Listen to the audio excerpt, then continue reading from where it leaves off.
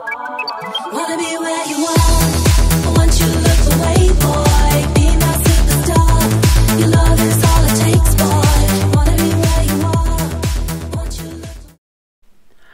there, it's Paul here from House of the Artsiders. Thank you for dropping by.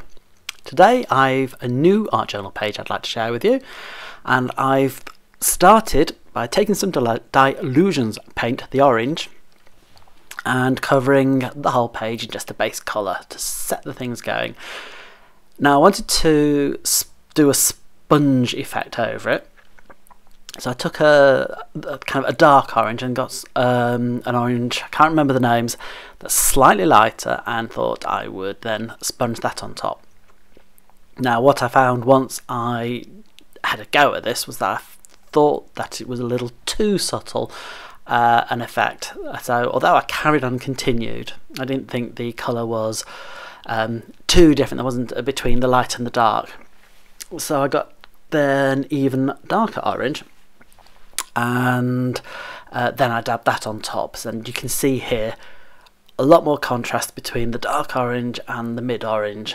Um, the only thing is that once I had done it, as you'll see once it's got a complete coating, is it's got a little too too red, and I wanted it to be orange. So I took the original orange colour again, patted my sponge with it and dabbed that over it which kind of took back some of the red so that the the red was peeping through the orange instead of the other way around. Um, and I have to admit once I've done it loved the effect. Gave me that kind of orange background but with slight texture I'm really taken to doing sponging at the moment. Now here's a stencil from Mike Deakin's art. There will be a link uh, down below somewhere. So look for that. Love this one. I think it's called Little Brain, Little Grey Cells. so what I did was I took the dark red colour that I used and um, sponged it lightly through through the stencil, which I've held in place with a little bit of uh, what do you call it, washi tape. But it being a flat colour, you know, just the flat colour against the kind of the sponged background, I thought, well, I want it to blend in a little bit more. So I took some orange and I lightly sponged over once I got that red paint on. Of course, I waited for the red paint to dry, then sponged it over. So here we go, the big reveal, and looked brilliant. And so, love the central symmetry of it. Now, here we go through my process of choosing magazines to or magazine pages to cut up into at this stage I hadn't a clue just saw things I liked one thing I knew I wanted to do is I wanted to draw a harness similar to what Andrew Rippon wore on the Oscars car- red carpet and that was about the only idea I had for this hence I, why I thought I'd go for that uh, torso so everything else was just serendipity. It was all, all, all sort of like a, as it happened. I hadn't intended for this to become some sort of like merman, mer person, but once I put that torso over the hairstyle, I thought, yep, it's beginning to look like a tail. Um, I love the quirkiness of uh, the boots, the legs and the boots looking like arms. It um, I don't know, tickled me that uh, kind of obscure, kind of weird look. So that's what I went with.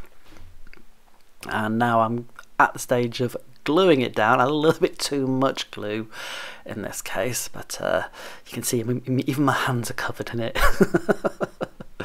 there we go. I'm flattening down the image and putting it on top. So we've got a an image that covers most of the page, but you still see bits of the background behind it. And once the glue dried, the first step just to get myself going on the doodling is to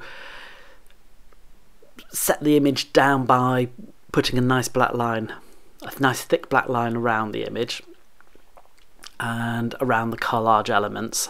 And just grounds it, as I've heard other people say. And here we go.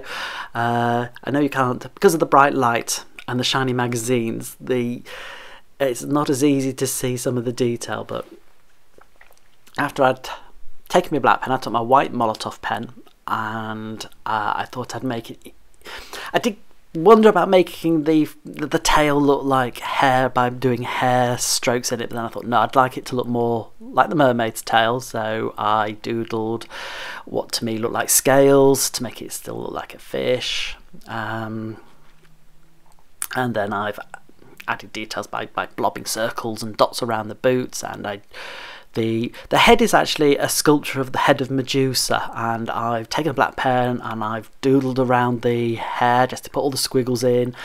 And the eyes are blank as you find in sculptures, and I liked that. I didn't want to sort of like start adding pupils to it, so I just carried on making it black. And here we go. The, the one thing I wanted to do with this design is to draw in pencil that harness, and now I'm uh, inking it over and what you can't see, it's off to the right, is I had a picture of Andrew Rippon wearing his red red carpet outfit, and I was copying it away. so I'm not drawing it from my imagination. Uh, using my Posca pens, I thought black would just obliterate everything, so I went for a dark grey to colour the belt in with. And I, it's, you know, it's dark, it gives the right effect. Um, so yeah, I was kind of pleased with the the look of it. I know that sort of like when you draw things like a, like harnesses, it can cause a little bit of controversy. I talk about that a little bit more on my blog, but I'm not going to go into it here. Okay, so between my white pens for adding a little bit of uh, highlights and to make things look metal, and then the dark grey, uh, I think I've made it look like the harness I wanted it to. Okay, so I set to the border now taking another um, paint pen from Posca. And because it's orange you'll find its complementary colour is a turquoise green. So that's the colour. Although it looks a bit green it is actually more turquoise. So um, and it also matches the the glove fins that has that colour too. So it all balances together. So I doodled away. Trouble is when I'm doing borders and I have no clue whatever. It can it can go either way. Sometimes I like it, sometimes I don't, and it gets away with me. Um, but every time I see something, it's like I liked the green. I thought it needed something more, so I outlined it in black. And I thought it needed something more, so I added black dots. And then I thought, no, it needs something more, so I got a thin red line and painted a border. And I thought, no, I don't like the thin border, so I took my thicker pen, went over it, and did a thick red border. Um, each time trying to sort of like visually make it look acceptable to me and then I thought yeah it still needs something so I went around the outside of the green doodle and the outside of the page and did that in red too so it kind of encased the decoration kind of still gave it that that made the border more of a oh, I don't know don't know what the words are for it but yeah visually appealing to me. But then I still didn't like that red border, so I took a black pen and doodled on the outside of it, and then I doodled in the inside of it. And it started taking shape, it started to look more bold and graphic, the way I like it to look, so I thought, leave it there. I did have ideas of painting all over it and starting again, but I thought, no, actually, I don't mind it. So I was happy with it. And coincidentally, this text I looked up. I, I keep a book of quotes uh, that I could use in page in my pages, and he looked good in leather. I don't know where I got the quote from or where I overheard it from, but I thought, yep, given the harness, that's that's the quote that I'm going for. I thought it suited it, and there we go. Once I've done the uh, quote, I figured that was the page done, dusted, and yeah, felt I couldn't add any more to it. I liked it as it was. So Thank you for watching, hope you enjoyed, and there's some photos coming up. And I'll see you next time. Bye for now.